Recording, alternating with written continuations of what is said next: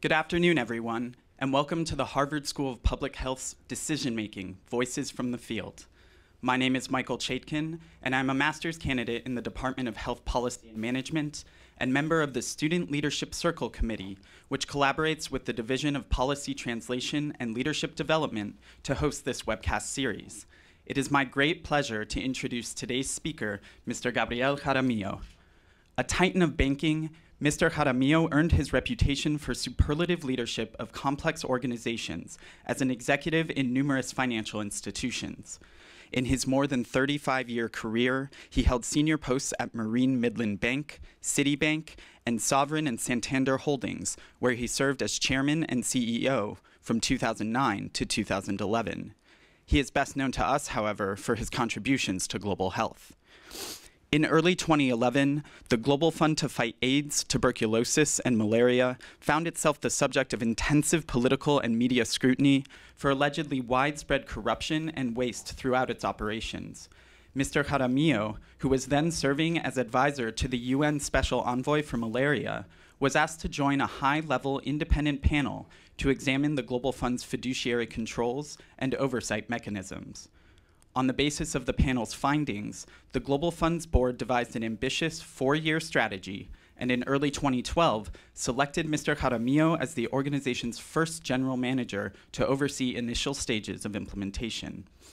In less than a year, Mr. Jaramillo thoroughly reorganized the Global Fund, reducing staff and overhauling systems to strengthen grant management, improve efficiency, and tighten financial supervision. In late 2013, his successor presided over the Global Fund's most lucrative replenishment conference to date. $12 billion in donor pledges were no doubt a tribute to Mr. Jaramillo's transformative leadership. A native of Colombia and citizen of Brazil, Mr. Jaramillo holds degrees in marketing and business administration from California State University. He is currently the Menschel Senior Leadership Fellow here at HSPH and is teaching a course on turnaround management in NGOs. Before I turn the session over to our moderator, Dr. Ichiro Kawachi, please join me in welcoming ha Mr. Jaramillo to the Voices from the Field Leadership Series at the Harvard School of Public Health.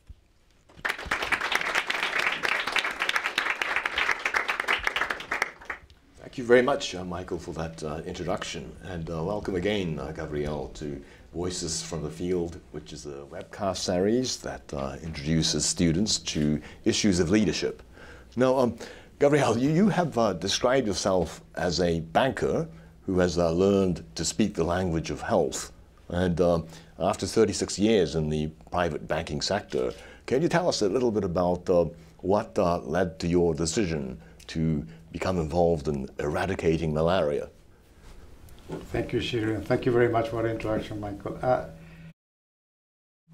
How you make a turn in life. I wanted to uh, give back. I, was, I have been lucky all my life. I was born in a little town in the Andes in Colombia. Um, I still can't explain to myself what I'm doing here today uh, in this illustrious institution, and yet uh, there's this feeling that you want to contribute. Uh, so when I finished my career in banking, and I was uh, thinking, how am I going to do something differently and uh, have a positive impact?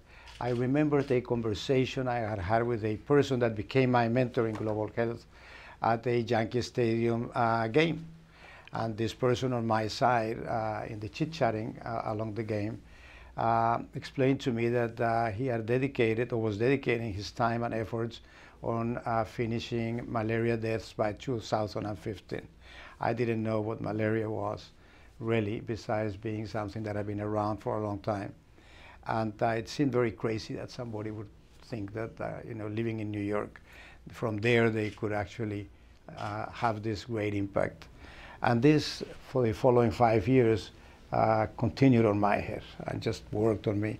And when I decided to make a move, I decided to locate this person that I had met in this game and uh, made contact through another person because I didn't know if this person remembered uh, our meeting at the game. And so, uh, half an hour after having the conversation with a third person that would get us in contact, I got a call. And uh, he said, This is Ray Chambers, and I'm returning uh, your call, and this and the other. I said, Oh, you do remember? And he said, Yes, I do remember. I just don't know why it took you so long to call back. and so uh, that's how it all started. And uh, so I ended up in the drive, uh, and that I think it's a fascinating uh, enterprise, which is to end malaria, malaria deaths by 2015. Well, as a um, lifelong Red Sox fan, I, am just glad that uh, something good can come out of visiting Yankee Stadium. That's a, whole story. I mean, seriously though, uh, that, that, your, your, your story, your story uh, reminds me. You know, there's, there's, a sort of a Japanese saying attributed to the um, 16th century uh, master of tea ceremony called Sen no Rikyu, and the, the phrase says "ichigo ichie," which means one meeting, one chance. And um, I think it's a wonderful story of how these fleeting moments in life can lead to transformative change in one's personal life and, uh, and the rest of the world.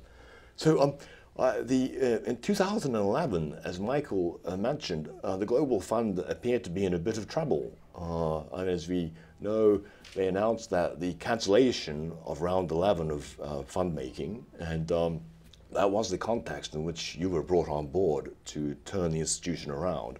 Now, for those of you who've been paying attention, the title of the session is If It Works, Fix It, which um, seems, you know, a little bit contradictory. All of us are taught uh, if it's broke, if it's fixed, you know, if it's working, don't um, try to fix it. If it ain't broke, don't fix it as the uh, usual leadership uh, mantra. But um, can you explain to us um, the situation you found at the Global Fund when you took over the helm? What was working and needed fixing, and what wasn't working and required your key reforms to turn around? So, the Global Fund was a great idea, and it came about in 2002 uh, with a lot of wisdom behind it, and it's one of the few ideas that really worked. It was a grandiose idea, and it produced what it was supposed to produce. And in the first 10 years, it saved close to 10 million lives. It engaged 140 countries in the fight against these diseases. It mobilized billions of dollars. Health goods prices came down dramatically. Industrial scale up of health goods went up in a way never seen before. Um, fascinating experience, fascinating organization. Yet, uh, what happened? Uh, times have changed. When the World Bank, when the uh, Global Fund was formed, it was formed with a great sense of generosity, a, a great sense of emergency and fear, and solidarity. And with that context, um, the organization got moving and achieved what I have explained to you. Yet, times have changed, and there was no longer an emergency and there was no longer by 2010 fear. No head of state of the G8 feared that AIDS was a threat to the human race. They knew it was a big problem, and it was a bigger problem in one place and a lesser problem in another. But there was no fear. It was not the priority that it was at the beginning. And so what was left was the sense of generosity, and with that sense alone, the expectations changed on the fund, and the leaders failed to recognize this change, this change in the environment. And this is what leaders do. Leaders are supposed to be visionaries, and they're supposed to be able to see what's really happening and what the trends are, and being able to translate those trends into simple messages and translate them into action so that organizations are, are always responding in the way they're supposed. And what management and the leadership of the fund did when confronted with this difficulty of fraud being found in its activities and disclosed and becoming a big brouhaha. But what really was happening was that times had changed and the donors were requiring that fiduciary uh, aspects of putting money to work in 140 countries in the uh, most extreme and difficult corners of the world, it had to be done in a different way. It had to be done with a different rigor. And, and this is what really the major problem was. And the leadership lesson here is that's what le leaders do. You have to read the smoke signals. You have to read the times. You have to translate that. And you have to translate it into action and in a way that people understand that something great is always changing because it's the environment that is changing. Mm, wonderful. I mean, looking back on your life, um, it seems that uh, you have been involved in a series of uh, rescues of distressed organizations. I mean, first you did this in the private banking sector in uh, Brazil, and of course, for those of us in the Commonwealth, remember when uh, Gabriel came on board to uh, be at the helm of the sovereign bank and turned it around in the space of a couple of years. Uh, and then he did went off to um, Geneva to do the same thing for the Global Fund in um, the space of um, 12 months. What, what's your secret? I mean, what, what, is there, are there lessons um, here that are transferable from uh, managing private sector uh, organizations to the public sector? Or are there, what are the differences and what are the similarities that you were able to apply in, in, this, in these cases? So I don't think it's a secret, but because all these things are so intuitive, but I mm. did uh, prove for myself something that I that I was pretty convinced that it was like that is the transformations are about people because it's people that do things. Mm. And and you can apply that to a chemical company or to any kind of enterprise. Mm. And so I applied that to uh, transformations in the financial system. And then when I went to Geneva uh, to uh, undertake the transformation of the Global Fund, I was pretty comfortable uh, knowing that, not arrogant, but comfortable, that I didn't have to know about AIDS and malaria and TB and global health and health systems. What I had to know was about people, because it was people that were going to make the changes that were required. Mm. And so it's around that concept mm. that I, I, mobilized, and I have mobilized all my life mm. in terms of uh, bringing uh, a change into organizations. Wonderful. I mean, one other um, quality of leadership seems to me to, to understand the values, the values of the organization, the values of the people working in them. Now, you have said uh, in, in an HBS interview I read that um, you perceive a fundamental difference in the values of the private sector and the values of the public sector. Specifically, that uh, in the private sector, it's the individual as the organization which is uh, put ahead of the individual, whereas it may not be the case in public sector organizations. Can you elaborate on that concept? I mean, was it uh, that's a good question. Was it of relevance when you took over the Global Fund? That's a, that's a very good question. I I learned a lot, uh, of course, uh, uh working at the Global Fund uh, and leading the transformation. Uh, and one of the things that I learned was when I walked in there, I was pretty arrogant, and I was not aware that I was arrogant. I, I had the concept that everything in the private sector was good and everything in the multilateral public sector was bad. And clearly it's not. What, what works is a combination of things. And, uh, and it's something called the golden triangle, which is public sector, private sector, and civil society. And, and it's that system that produces the most innovation and, and velocity and, and, and, really responses to the kind of actions that are required to execute change and to do things differently. Um, but um, bringing that down more specific, uh, a few things came up that I was not conscious of. For example, in terms of motivating uh, uh people uh, in, in the financial sector, for example, well, it's career development, recognition, and money.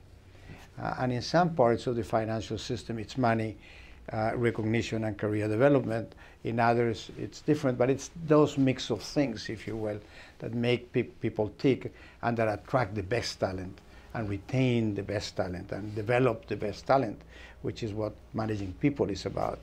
Uh, yet, in the Global Fund, mm. um, I found this new variable, which is passion. Mm. And in health, uh, there is this motivator, which is passion. Mm. And I encountered this extremely brilliant staff at the fund, highly educated, I would uh, highly engaged, uh, 95 uh, uh, nationalities, with a fantastic level of diversity that that brings with it, gender diverse, diversity as well, uh, just a fascinating uh, talent environment. Mm and there was a common thing which was passion mm. and how to bring passion uh, uh, into that equation of motivating and leading people yes. and so that was a great learning experience for Wonderful. me I'm, I'm sure uh, that resonates with a lot of our students because um, that's the one thing we do bring in public health um, I think uh, the other um, issue of uh, switching from the private sector to uh, a complex uh, global organization is, is a sort of difference in the stakeholders. You have mentioned the different you know kinds of sets of stakeholders, including civil society and, and uh, uh, donors, implementing countries. I mean, can you describe to us, um, you know, what is the, uh, how did you manage their expectations, the different and sometimes conflicting expectations of stakeholders in a complex organization like that? Well, how much time do we have? this is at the heart of global health, uh, right. uh, and uh, but I'll, I'll, take it in broad brush and different ways. It's a great opportunity to talk about this. Um, it, it's um, what you have is is very conflicting, um, very conflicting interests on the part of the of the stakeholders, but they all have something in common, which is the mission uh, which is uh, the generosity with, with which they are doing what they're doing. Uh, but other than that, they, they represent very different interests. For example, in the donors, they all want to provide this money for economic development uh, through uh, improving the health systems and uh, doing away with the with the pandemics, because unless you unless you do away with them, there will be no economic development, as you know. And, uh, but then they respond to their ministries and to their national agenda. Mm. And that's where the complications come. And uh, of course, uh, the interest in Cuba is different from some angles of the world and from other angles of the mm-hmm. world. And the, and the interest on French speaking nations is different from some, some angles of the world and other angles of the world. And so all that starts competing and that dynamic within the donors mm-hmm. is quite a schizophrenic, if you will. And putting that together is something you shouldn't waste your time attempting. You just have to work with it. Mm-hmm. And uh, because it, it won't, this, this, this too much behind it. The colonial past yeah. of some of these donors and everything else mm. marks a lot the way they will behave. Um, but if that wasn't uh, complex enough, mm. that has to work with a set of implementing countries uh, and um, and the change, the differences in culture, religions, uh, uh, the significance of women in those societies, the, the, the, the diversity, and having interventions and programs that are common, and being able to apply and finance them in all those environments is a huge, is a huge venture. Only to uh, show how diverse they are. And it's in that diversity that you start finding a lot of challenges. And uh, again, that in itself is very complex, but it's heightened and exponentially heightened by the complexity of the donors. And then you have civil society from the north, from the south, civil society from faith-based organizations, academia, researchers, and, and private sector, and all and everything that civil society represents, and NGOs of the North, and those that are in advocacy, and those that are implementers, and, and, and so on and so forth. And they all have different ways to approach uh, some similar uh, missions. And, um, and then you have the people that are affected by the diseases. And they are a major element in civil society and their anxiety level is different and their expectations are also different. And so I'm just describing something that is the conflict that you have to deal with. And how you bring them together, I, I don't think I can write that book because I didn't do very well in that. I, I, basically uh, uh, went just head on and, and, decided to confront all that system yes. and hope that some common threads would come out of it rather than try and fix it. I see. And try to, har- try to harmonize it. Yes. It was too much for, yes. for, a, for a person with my background. but getting, getting some very common things out of them, out of them yeah. and have them agree on some very uh, common things was my approach. Yes. And Wonderful. I think we got there. That's, that's, that's really great. It was not a happy process no. well, for them you got, or for me. you got results. That's um, you know, what we want to learn from. I think. Uh, let me um, pause here because I'm, I'm, sure that there are lots of people who want to ask questions of uh, Gabriel. Would, would, you like to? Uh, welcome. Um, uh, my name is Leo. I'm an MPH student here in the Healthcare Policy and Management concentration, and um, we're very glad to have you here. And so you said that um, you can explain to yourself um, what are you doing here today and how did you get here? And we share something um, because I sometimes feel the same way. I come from a very small uh, town in Argentina, in the center of Argentina. So, um, and I was wondering if you could explain and comment to us a little bit and share what is your um, experience in Colombia and, and what uh, lessons did you learn? What concepts concepts are you bringing from uh, you know South America? And what are the building blocks that you learned uh, back at home that then were you know further down the line helpful to build uh, everything that you've built? And the second question would be what are the lessons that uh, countries, um, especially in South America, can learn from this very complex um, uh, global community and, and global governance issues that we are dealing with? Wow, Leo, I don't even know where to start with you. but uh, I guess it's difficult to know because you, you sort of develop as a person over time. And hopefully you're influenced so much over time by your environment and by the people that you meet that at the end you don't know what's from the beginning and what came up along the way.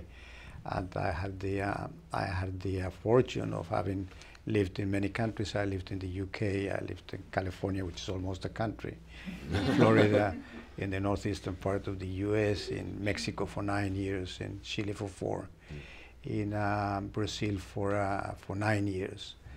Uh, and so all around that, I, I, guess I picked up along. Um, but um, there, there is a sense of uh, being being uh, a high level of sensitivity for people and uh, comes along with that kind of, of, of, of, experience that I had. And it's just understanding that people are truly uh, different and the same. And that respecting that difference is, is, is key. People have a right to be different and they are different. And, um, and that respect for that and being receptive to that and sensitive to that at all times is just, uh, I think, uh, something that I can share. I don't know if that's Colombian or Mexican or Brazilian or British or what along the way. Mm. And uh, thank you. Alfredo, Hey, my name is Alfredo Perez. I'm from Colombia. And uh, I know that uh, banking is all about making money. So I guess that was uh, your incentive while you were working um, in that field. Um, so seems like in the past few years you have been learning a lot more about the public health and the importance of it. So my question for you will be is um, if you could go back, let's say 15 years ago, and at the time you had known more about public health as you know now, would you have done something different? I would have moved into public health faster. you know, this is a fascinating world. I, I cannot explain to you the learning curve over the last three years uh, and how it has changed my life and how much I've learned. And uh, of course, I applied. Uh, when you're heading organizations, and I was CEO of banks for 21 years, uh, well, you're learning a lot and you're doing a lot and you're exposed a lot and so on and so forth. Uh, but, but with the global health twist, uh, it, it is just so complex, so amazing, so fantastic. And I, I don't have to explain this to you because that's why you're here mm. and the complexity you're learning and teaching and, and, and, and you're doing that as you go. You, you're both. You, I'm sure you learn every day and you, and you teach every day. Um, but uh, the motivation in business, the bottom line is fairly simple and it's uh, return on investment. Um, and uh, it is translated to money. And it has to be done in a way that, that it's correct, because if it's correct, then it's sustainable. And so it has to be ethically correct. Uh, and that is business. Uh, in global health, it's morbidity and mortality in a way. And, uh, and so there is a bottom line as well, but it is more complex it is, it is more challenging. It is more intellectually difficult to pinpoint. It's not about accountants and accounting rules. And, and you all know the difficulty of being able to match actions today with the effects of morbidity and mortality because they come down the road and they come in different ways.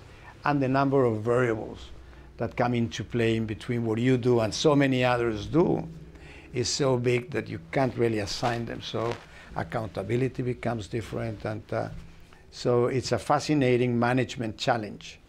Uh, but from the complexity of the financial world, which is highly complex, uh, and the complexity in, in the health world, clearly the health world is exponentially more complex and therefore I think more interesting. Questions? Yes. Good afternoon. I'm Amia. I'm a master's student in the Social and Behavioral Sciences Department. Thank you uh, for your insights. Uh, my question is about organizational growth. And um, I recognize that on the other side of crisis management is crisis prevention. And I'm curious about the lessons you've learned in the context of crisis prevention um, in terms of how organizations should, should grow to protect, protect themselves or potentially mitigate such crises. Thank you. So I'll take that as a banker into the area of risk management. and um, so, what is risk? Risk is anything that can derail your objectives. And you're supposed to identify anything that can derail your objectives. And that is what risk is about. And then the way you go about managing risk is first identify in big clusters the kind of things that can really affect you from being able to accomplish your mission.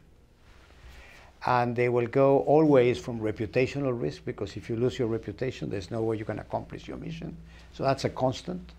To operational risk, which is the risk along the way in the details, like the Tylenol packaging and all these things you can remember, and, um, and so on and so forth the, the moving, in the, in the case of health medicines, at the right temperature with the right humidity levels, within the expiration dates, and, and all those small but so important uh, uh, details, but important aspects.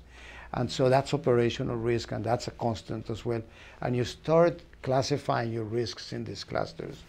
And then you decide which ones of those can hit you the most suddenly. And you start developing your response to them. And to the extent you do that well, you're managing risk well. And therefore, you're getting ready for all the obstacles that will come up as you work towards accomplishing your mission in whatever human enterprise you're working on. Thank you. Questions? So I, I would like to interject um, the question about uh, leadership. You have, uh, I, have uh, heard you say that um, uh, it's easy to uh, be a leader in a well-functioning organization. The, the hallmark of leadership is taking over distressed, you know, ailing institutions and then turning them around as you have. So what, what would you define as the qualities of leadership? What are the most important um, qualities of a leader for you? I mean, is it the is it the quality of being blunt, um, or is it the quality of being humble? Uh, is it uh, communication? Is it people skills? I've heard you sort of mention all of these things, but is there a sort of sense in which you would uh, advise future leaders about um, these are the qualities that uh, we, we really ought to keep in the fore of your forefront of your of your daily practice? So how to be a leader in seven days and one day. And, uh, and that's what we all want. 60 minutes, actually. but there's no such a thing as, as, as, as in fact, we don't know what a leader, what, what, what, what, how, do, how to make a leader and, and what a leader really is. Because leadership is a very personal thing and people exercise it in different ways. And very difficult, different people with different styles are great leaders. So we haven't quite figured this one out uh, yet. Uh, it's very much like seducing. Everybody seduces differently. and it's a very personal thing. And if you ask people, how do you seduce? They, they don't really know. But they know, and they perfect it, and out it goes. And so this is leadership. It is not a clear science that you can pinpoint one, two, three. And you're, of course, very aware of that. But then there is some leadership aspects that seem to be common for people to follow And uh, I'll share with you some of the ones that I think uh, are relevant. The first one is one that we mentioned, which is you, you have to have a vision and people have to perceive and demonstrate, you have to demonstrate that you do have a vision, that you can see, that you can read the smoke signals, you can read the times, and you can communicate. That you can truly communicate in simple terms uh, what you're seeing. And, um, and then you, you are also uh, have to be able to get into and descend to the what I call the sweaty little nitty gritty of, of the activities that are being done. But once in a while, you have to stop that and go and walk into the future and see the green pastures of where you're going. And people have to see that. And then you have to come back to the sweaty details of agreement and disagreement and knowing and not knowing and trying and failing and all that. And then you have to stop again and you have to go and walk into the future, look at the green pastures and come back. And to the extent that you're repetitively doing that, uh, you, are, you, you will have the capability of having people follow you in whatever the mission that is going to be accomplished. I think another one is one that I mentioned.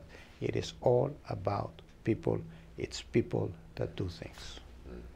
And every time you forget that, you pay the price because the leader does very little. But a lot of people with different, from different walks of life, with different knowledge bases, at the right places, can get a lot done. And this is and those would be three aspects of leadership that I would like to share today. Yes.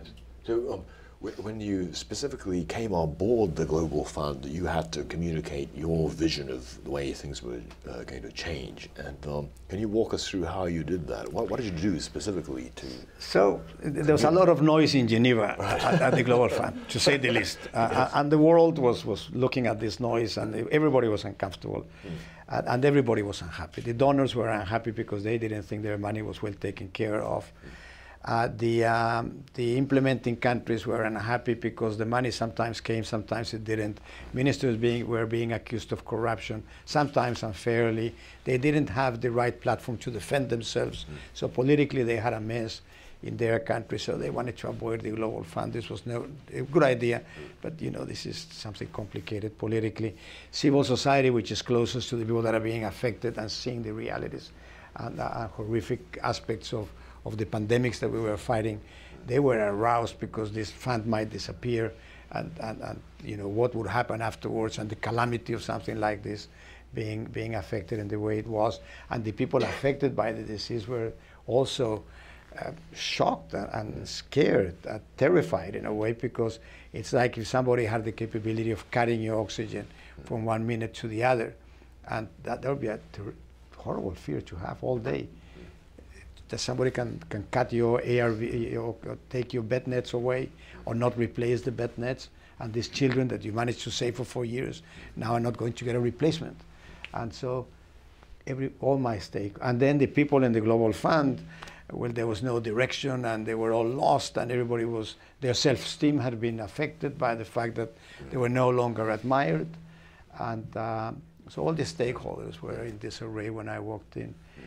And um, so this is how I communicated this to them. Now that you mention it, I said, listen, from in the spectrum of, of the reality of our mission and our venture is basically, uh, you know, from what happens uh, when a ministry of, of the, or the treasury of a country transfers money into the global funds account mm. in, in, uh, in, in the World Bank in Washington to a, an alley in Nairobi where you have a drug addict uh, shooting his drugs or her drugs, uh, and what you want is for them to have an illuminated moment when they do that and when they transfer that syringe to the person next to them in that alley, that they actually change the needle, mm. put a new needle, and they transfer that syringe. And that's the moment of truth.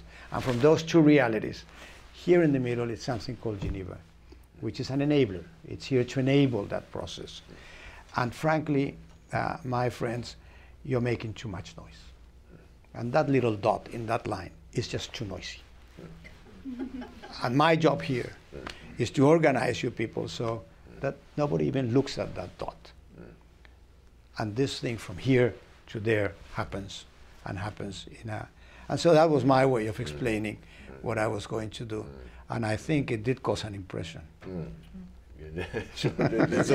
changing, I heard you say changing from Geneva centric to you know to Exactly. The, I, I know I understand what you meant by But. I didn't use a complicated way to say it. I used that way to say it. That's a wonderful image. Yes.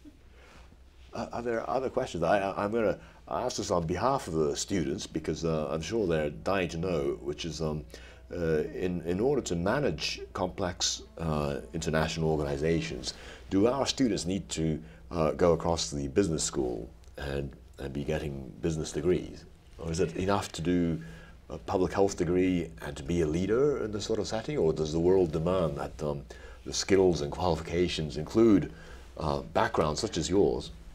So I, I, I, I'll answer that with a question Yes. to you, Mr. Ashir, and it's the following. yes. Uh, does a doctor have to go to medical school? yes. My answer is uh, yes, they do. so, so we're in agreement.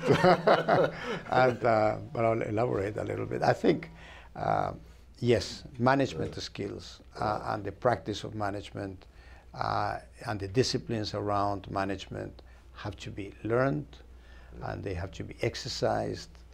And uh, a lot of the inefficiency of many of the institutions, specifically in the health world, but true of many other uh, uh, ventures in, in life, uh, because management is not exercised with the uh, state of the art uh, learnings that, that are available, and therefore there's a lot of uh, trial and learning by, by, by, by using different uh, methods that are known already, what works, what doesn't, how it should be done.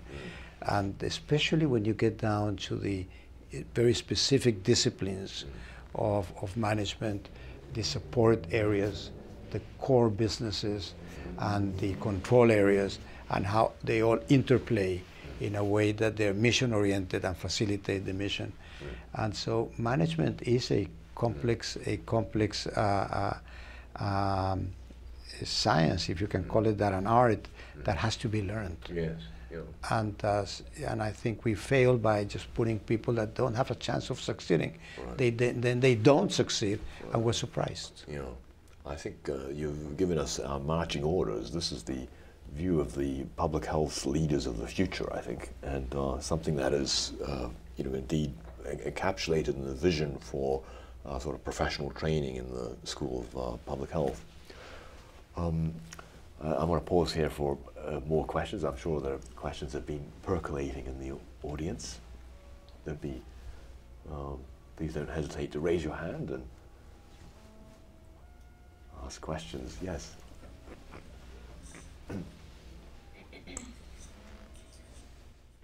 Hi, my name is Lily Muldoon, and I'm a Master's of Public Health candidate in the Global Health and Populations Department. And thank you for joining us today. Um, I think that students at the Harvard School of Public Health this academic year are particularly lucky because we have two leaders from the Global Fund who have joined us in Voices from the Field. In November, we heard from Mark Dybul, who had an excellent conversation with Gordon Brown and Dean Frenk um, with regards to transforming the global health system. And um, I took away from what he was saying um, the importance of local leadership and result based development. Um, and I'm curious to hear from you um, what your vision was for the Global Fund today and how it compares to, um, or your vision when you first started working with the Global Fund and how it compares to what the state is today in April of 2014. And then also how you see the Global Fund progressing into the future. That's a great question. Uh, it is much better than I thought uh, it would be. It is the, the, the job that has been done in the continuation of the transformation has been way beyond what I expected could be done in such a period of time. So that team led by Mark, are just fantastic. And um, it goes to something that we talked a little earlier, which is management. And um, let me just share with you some aspects of this because I think it'll clarify some things. I, I called the first part of the transformation at the fund organizing to deliver. And if you organize well to deliver, uh, you can withstand a lot of changes along the way, even the change of the person at the helm. So we organize to deliver. Little after that, a little time after that, we changed the leader, which I knew was going to happen. And, and that leader was able to start running from the moment that they started because the place was organized to deliver. And they delivered so much. They delivered going out and raising the funds required with tremendous success. And they delivered by defining the nitty gritty of the new business model and funding model, piloting it out in the field, and launching it. All this in 18 months. A fascinating accomplishment. And, and I I'm, can't tell you how proud I am. And I know how proud they feel of doing this and how their self esteem has grown in ways that, uh, so this is just a very positive thing.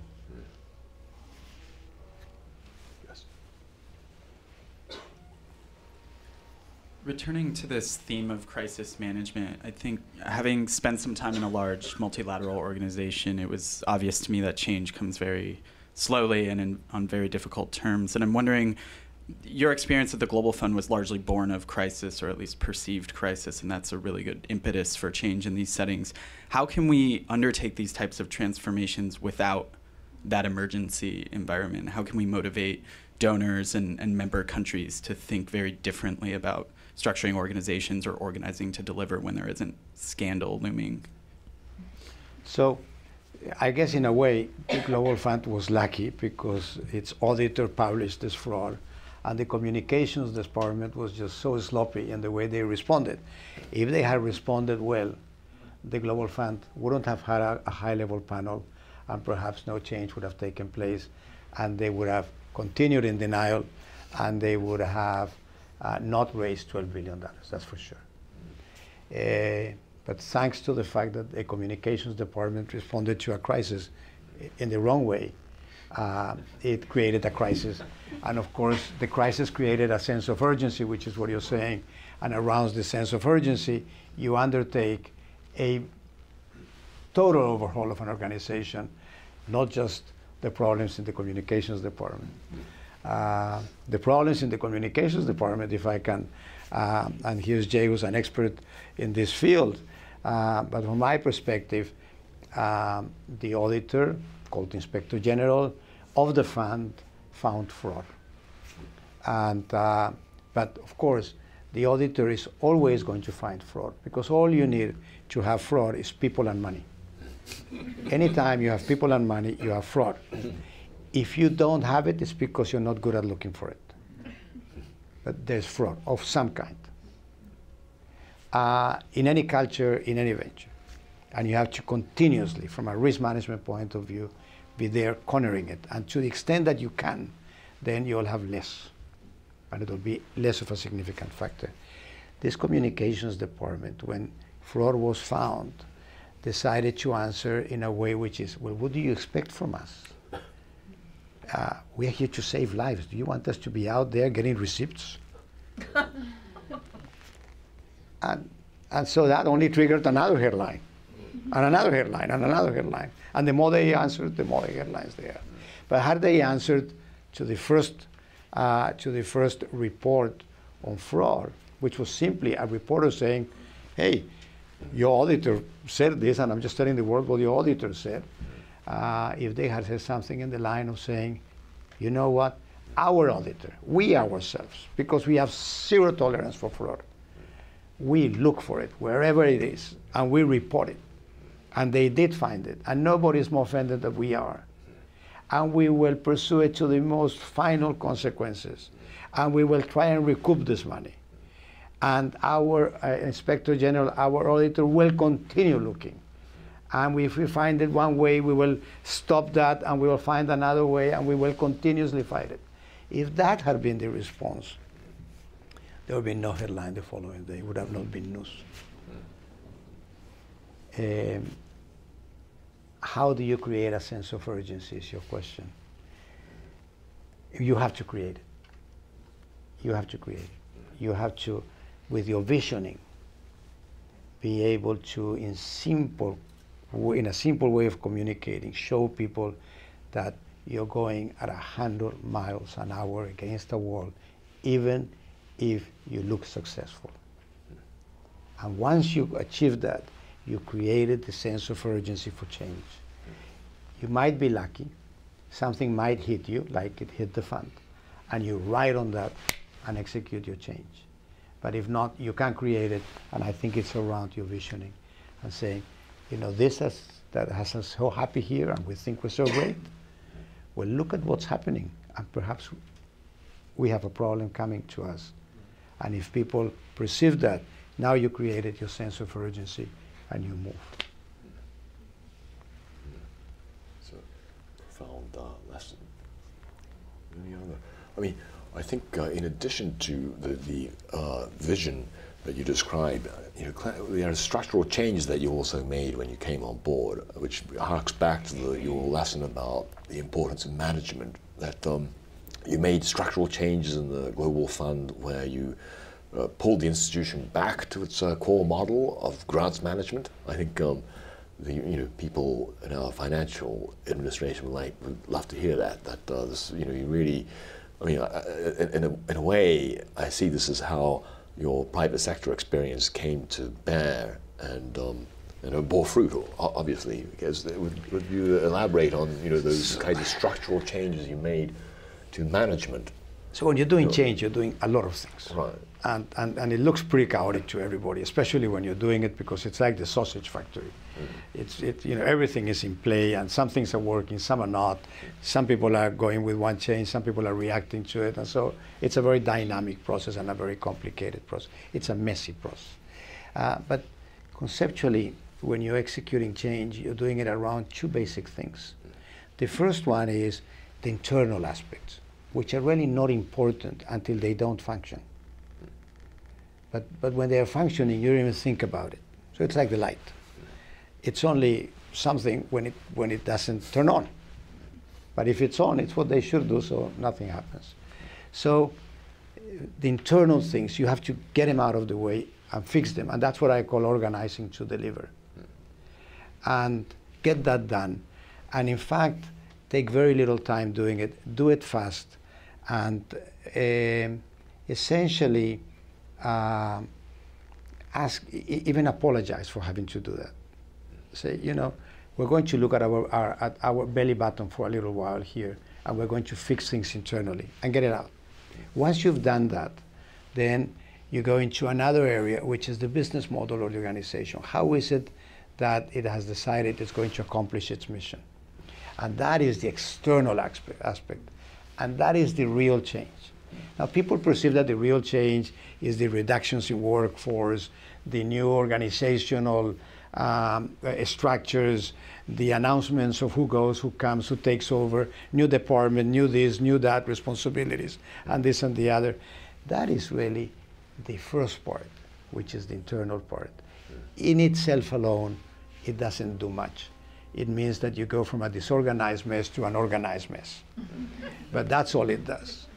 The second part is the one you have to want, you want to tackle, and that's the intellectual part and the real thought process of how do we go about doing what we do differently. What are the game changers? What are all this? But the organization has to be settled and well thought through and implemented.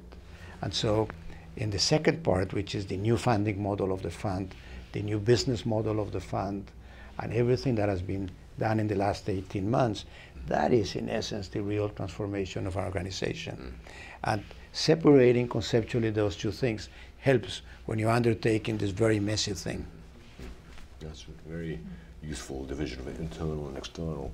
Um, I think uh, we're just about at time. We could go on listening to uh, Gabriel, but um, I'd like to spend you know the few minutes remaining uh, to ask you to summarize. You know, there are sort of take-home messages that um, everyone can take away from this. What are the you know main uh, lessons that you have to impart to our students and our viewers and listeners about leadership? What um, what are these qualities, and uh, what have you learned you know, things that work, things that haven't worked.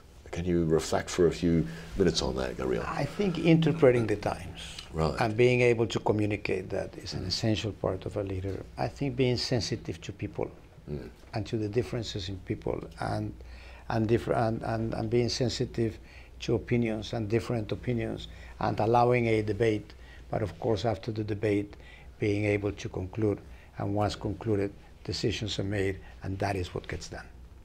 And uh, that this is very, very important.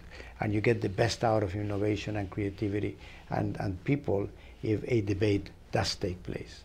And even though it looks like it's, it, it's, uh, it's, uh, it's wasted time, it's really accelerating your execution enormously, exponentially down the road because the discussion took place at the beginning and different aspects were. Now, this does not mean that everybody has to like it and agree. Mm. It means that everything was listened to, and with the best information available, a decision was made mm. to go one way. Uh, and I think that's, that, that's a, a, very important aspect uh, of leadership. Um, I think you have to take advantage of quick wins. Because when you're undertaking a humongous change, you can't tell people, let's do this because by the year 2014, you're going to be very proud of it and it will work because, eh, because you, you get tired. So you have to take care of little tricks. And I'll give you a little example of a little trick in the Global Fund. The trick is the wrong word. The elevators were not synchronized. and the elevator hall was very big. And you had two elevators on one side, two elevators on the other. You push your button to go down, and you were here, and that elevator over there in the other corner was the one going down, and you had to run over there before the door closed. And this didn't make any sense and, and I looked at this and I called the person that was in the administration and I said, what's with these elevators? And he said, it can't be fixed. It's like this here. And I said, well, you fix it. And he said, it can't be done. And I said, that means that you don't know how I'll get somebody that does if you don't. And that was it. Trying to explain to me why it couldn't work. And I said, listen, I'm too busy saving lives. You fix your elevators. you fix your elevators. And this nice person went and fixed the elevators. And I didn't say anything to anybody. But people noticed immediately. And they said, boy, change is happening. this place is really changing. and so this tells you. you have to so, take advantage of quick, quick wins, I call it.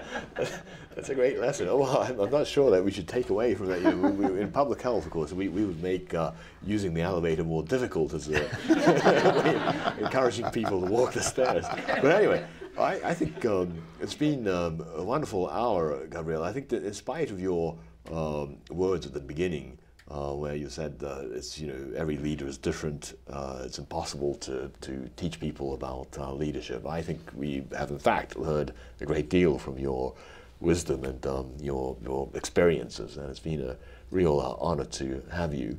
Um, I think uh, if, if, if, there's you know a dying someone with a question they've been dying to ask. I know um, in the format we haven't been able to have as much interaction as I'd hoped, but um, if there is someone who would like to ask uh, a question before we uh, thank Gabriel. No, then uh, I think you know I thank you very much for your wonderful uh, lessons today. Thank you very much. Thank you very much.